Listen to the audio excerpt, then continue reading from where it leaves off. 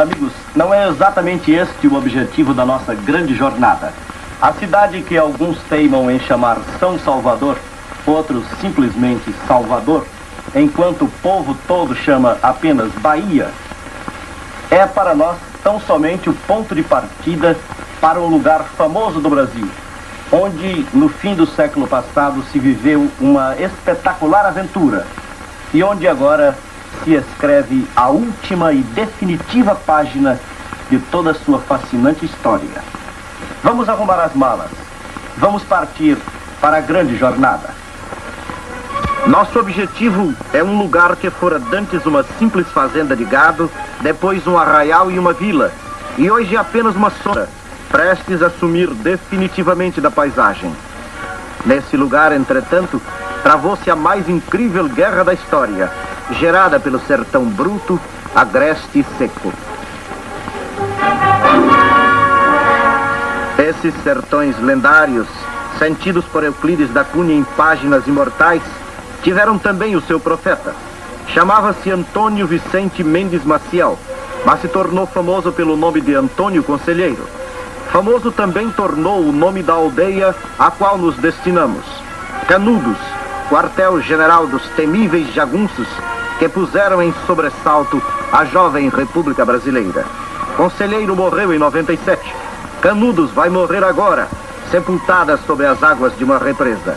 É o progresso, escrevendo o derradeiro capítulo, Os Últimos Dias de Canudos.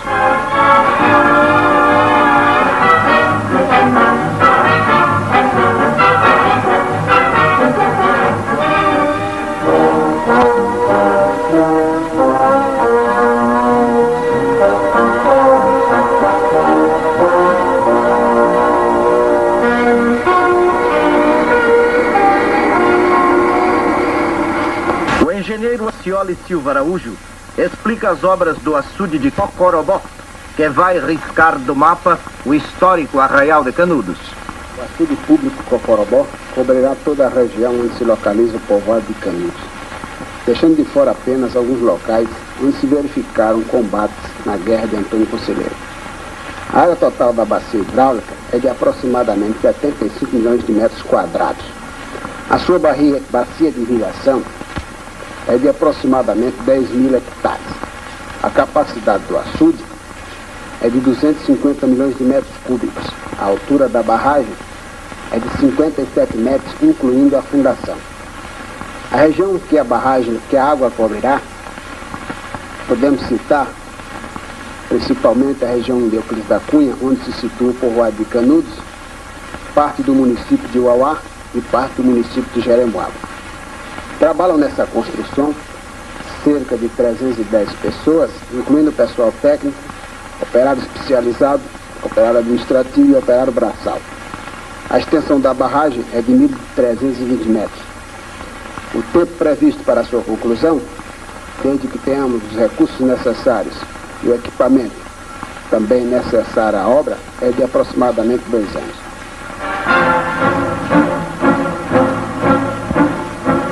1882, o arcebispo da Bahia solicitou ao ministro do Império um lugar para Antônio Conselheiro no hospício do Rio de Janeiro.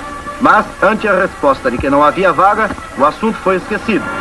Não fosse por aquele fato banal, e de certo estes trabalhos da represa não teriam outra importância jornalística. Mas, em 93, já seguido por numerosos fiéis, o profeta achava-se da cidade de Bom Conselho quando as autoridades afixaram editais de cobrança de impostos. Reuniu o povo, queimou os editais em praça pública e pregou abertamente a insurreição. Depois, sabendo que os policiais estavam em seu encalço, partiu rumo ao norte com os seus fiéis, vindo a refugiar-se nesta Canudos que agora vai desaparecer.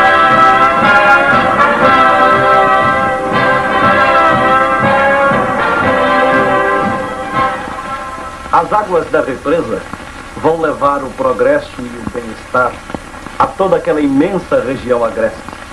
Mas vão, por outro lado, destruir uma discutida página da história do Brasil, página esta da qual há poucas relíquias, para não falar na relíquia literária que é a formidável obra de Euclides da Cunha. Mas no Museu da República, encontramos algumas peças daquela época. O Museu da República é o antigo Palácio do Catete, atualmente dirigido pelo professor Josué Montelo, que nos teve a gentileza de enviar algumas das peças que lá tem sobre Canudos. E essas peças foram inclusive acompanhadas aos estúdios da Grande Jornada pela conservadora do museu, senhorita Terezinha de Moraes Sarmento. Passado? Bem, muito obrigada. Senhorita Terezinha, me permita mostrar algumas dessas peças da Guerra de Canudos. Esta corneta, por exemplo, amigos, tocou a última carga de Canudos. Isto aconteceu em julho de 1897, quando a expedição chefiada pelos generais Savagé e Arthur Oscar ocupou a cidade após a morte de Antônio Conselheiro, pondo fim à Guerra dos Jagunços. Foi esta corneta, por conseguinte, que teve aquele instante histórico. Os jagunços de Antônio Conselheiro, antes de se deixarem vencer por essa expedição de Savagé e Arthur Oscar, repeliram nada menos de três outras expedições militares. Era uma gente de uma incrível ferocidade. E este facão que foi encontrado em poder do jagunço conhecido pelo nome de José Pedrão, bem revela a ferocidade daquela gente. Observem o quanto de violento deveria ser o homem que usava um facão como este, capaz de degolar de um só golpe. Eino como entra na bainha. E finalmente, ainda no Museu da República, graças à gentileza de Josué Montella, encontramos este fiel retrato do fanático Antônio Conselheiro, retirado da capa da Gazetilha de Porto Alegre, datada de 10 de outubro de 1897. O retrato tem uh, uma legenda escrita por um missionário que esteve junto ao conselheiro. A legenda diz o seguinte: que o fanático Antônio Conselheiro, cujo nome de família é Antônio Vicente Mendes Maciel, cearense de cor branca tostada ao sol, magro e pouco vigor físico, parece sofrer de alguma afecção orgânica, por frequentes e violentos acessos de tosse a que está sujeito. Vestia túnica de americano, tinha a cabeça descoberta e empunhava um bordão. Os cabelos crescidos sem nenhum trato a caírem sobre os ombros. As crespas bar grisalhas mais para brancas os olhos fundos, raras vezes levantados para filtrar alguém, o rosto comprido e de palidez quase cadavérica, o porte gaviar penitente, davam-lhe ao todo uma aparência que não pouco teria contribuído para enganar e atrair o povo simples e ignorante dos nossos sertões. Este retrato é, pois, também uma relíquia. E que recordações guardará hoje Canudos daqueles tempos bárbaros? Com sua licença, senhorita Terezinha, vamos conhecer Canudos, a cidade fantasma. Eis que entramos na vila de Canudos, 65 anos depois que as tropas do governo a retomaram. Sim, é hoje uma cidade fantasma, na antivéspera do derradeiro dia. Somente alguns teiros habitantes continuam morando na cidade. E as casas abandonadas tanto servem aos homens quanto aos animais.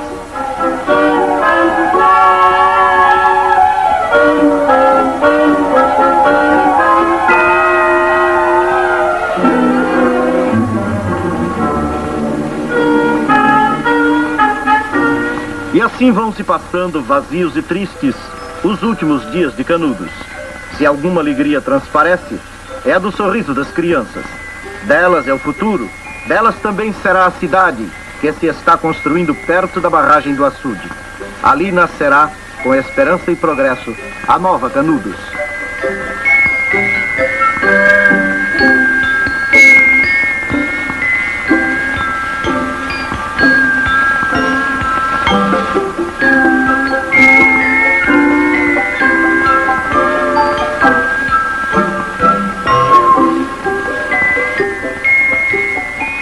É só nos velhos, todavia, que ainda se encontra a alma da cidade. Já não existem os bares onde os homens falavam de si e dos outros. Se até a prefeitura e os correios sumiram, quer dizer da barbearia. Ainda bem que o barbeiro ficou.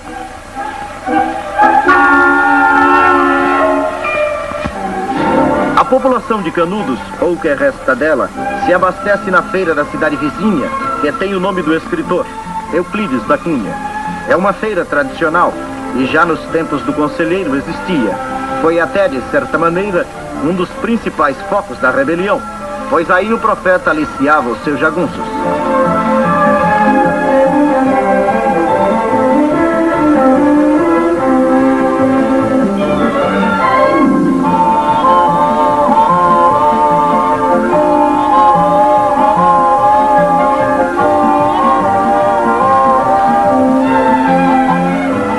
A julgar pelo aspecto pacífico das pessoas, aqueles fatos se passaram há séculos.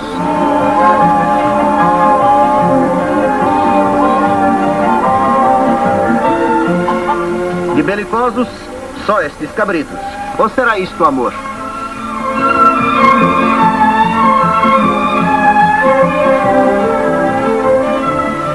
Dentro em pouco, em questão de dias, talvez, as águas represadas do rio Vaza Barris farão desaparecer toda esta vila. Não é uma cidade o que se vai inundar. É um autêntico museu, pois aqui praticamente cada casa foi uma testemunha silenciosa daqueles episódios terríveis. Batidas implacável e selvagemente por três vezes sucessivas, as tropas do governo parecem ter resolvido adotar, com relação a Canudos, a mesma solução final de Hitler no gueto de Varsóvia. Não ficou ninguém para contar a história.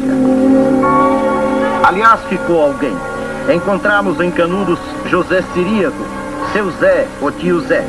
Quase nonagenário, ele é o único sobrevivente da campanha do conselheiro e tem em sua modesta casa um pequenino museu com armas e coisas da época.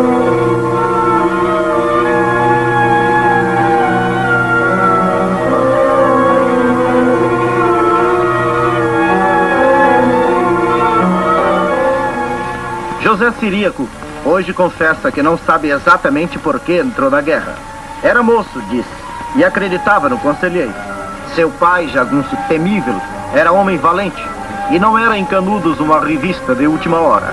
Orgulhava-se da sua cidade.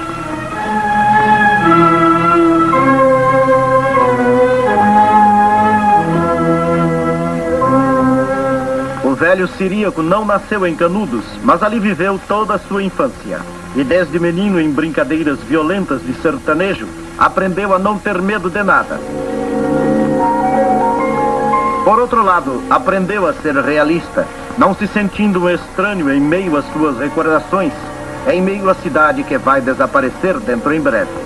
Hoje, Siríaco lamenta a sorte de Canudos, mas o que quer é que o governo lhe indenize a pequena propriedade e assim garanta também os seus últimos dias na nova cidade que irá nascer.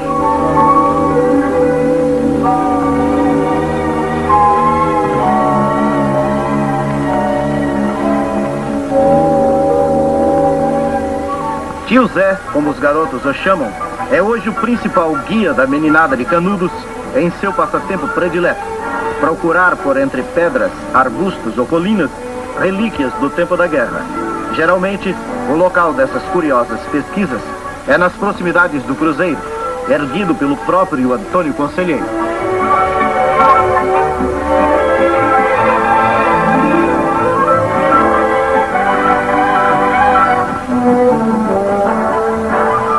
Este cruzeiro é o único monumento dos tempos do Conselheiro que ficou de pé após a incursão vitoriosa dos generais Arthur Oscar e Sabagé. Ali próximo estão as ruínas da igreja onde o profeta pregava. E esta cena é a mais comum nestes últimos dias de Canudos. Ao pé do cruzeiro, todas as manhãs, duas gerações se encontram. É o velho Zé Siríaco, que só vive do passado, e o menino de Canudos, para quem um futuro diferente se descortina, pois a represa lhe trará água, luz, energia e com elas as oportunidades até então inéditas naqueles sertões inóspitos.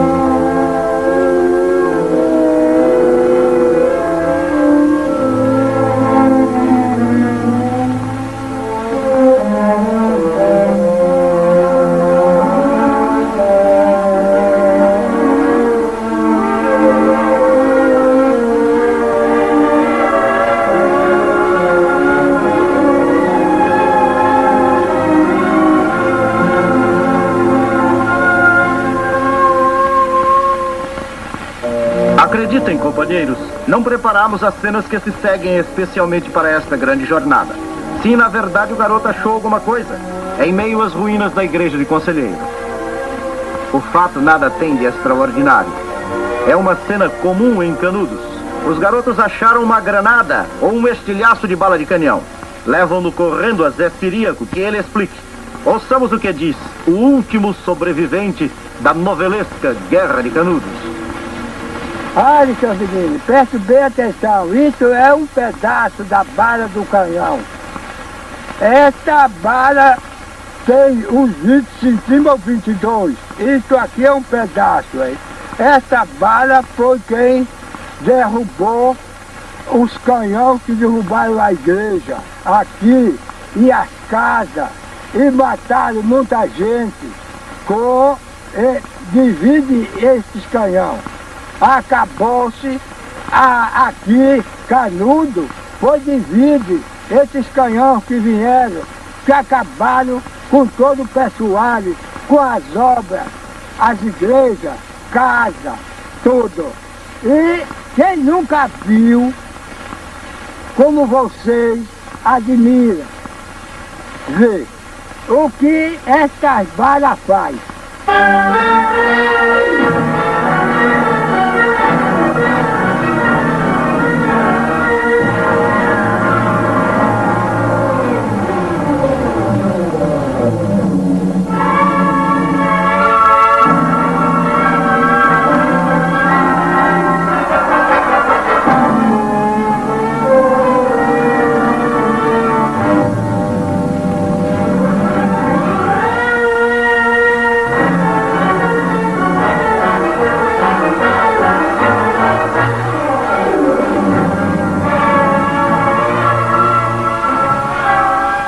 balas faz. certa pessoa em Canudos que diz apenas isto: Eu vou morrer com a minha cidade. Eu não sei mais rezar em outra igreja. Eu não sei mais plantar em outro roçado. Vamos conhecer agora, nesta grande jornada, a curiosa autora dessas declarações. Um sino dobra em Canudos.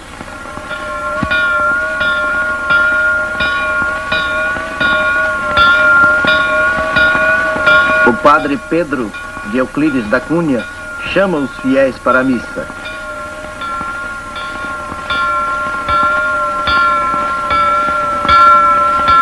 E ao ouvir o badalar do sino, como faz há mais de sete decênios, uma idosa senhora sai de casa para assistir à missa. Ela se chama Hermenegilda. De quê? Não se lembra mais? Dona Hermenegilda é mais do que ninguém uma solitária na desolada paisagem de Canudos. Ali nasceu e os pais morreram. Casou, o marido morreu. Teve filhos, os filhos morreram. Não tem mais ninguém.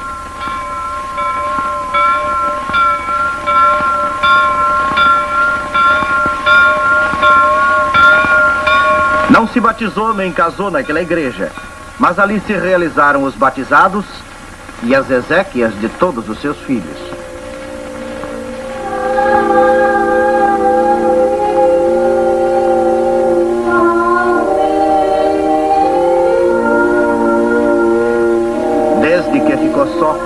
Dona Hermenegilda só saiu de casa para ir à igreja ou para cultivar o roçado que o marido deixou. Pouco se recorda das lutas do conselheiro, ignora a importância histórica de Canudos, mas não se conforma em viver noutro lugar. Por isso, o que pede a Deus é que a deixe morrer com a sua cidade.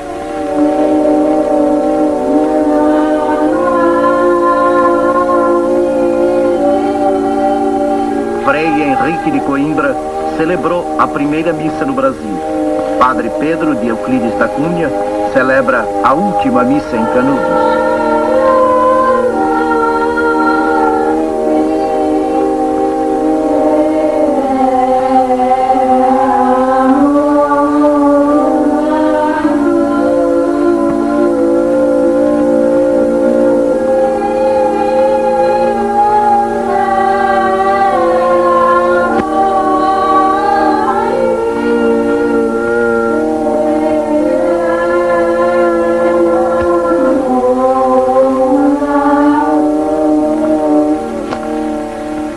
Cada trecho de rua em Canudos É para Dona Hermenegilda uma recordação. Cada casa é a presença de algum dos seus que se foram. Como então poderá permitir que se afoguem, ao simples pressionar de um botão, todas essas lembranças que para ela têm vida e são também a sua própria razão de viver? Como poderá começar de novo, rezando em igreja que não tenha o misticismo do seu passado, plantando em terra que não haja colhido a semente do seu trabalho, vivendo em cidade que não haja conhecido um só membro da sua família?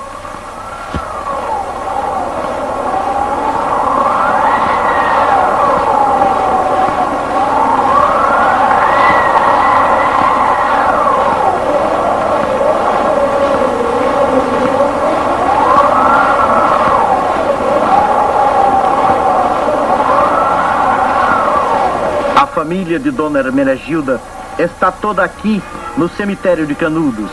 Aqui estão também os heróis que baquearam em defesa da República e os humildes sertanejos que foram chacinados. Até os meus mortos vão afogar.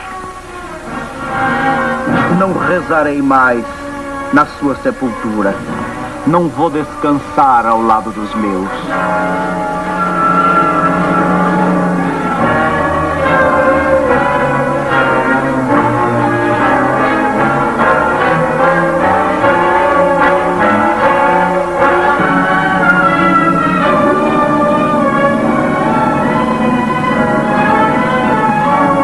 Mas Dona Hermenegilda há de se conformar, porque ninguém lhe vai roubar a fé que a conduz diariamente à igreja, nem a coragem que a leva a pegar na enxada aos 74 anos, nem muito menos a saudade, porque seus mortos estão mais presentes em seu coração do que na própria terra. Dona Hermenegilda há de se conformar, porque a cidade de Canudos vai ressurgir quando as águas chegarem, para destruir o passado, mas criar o futuro.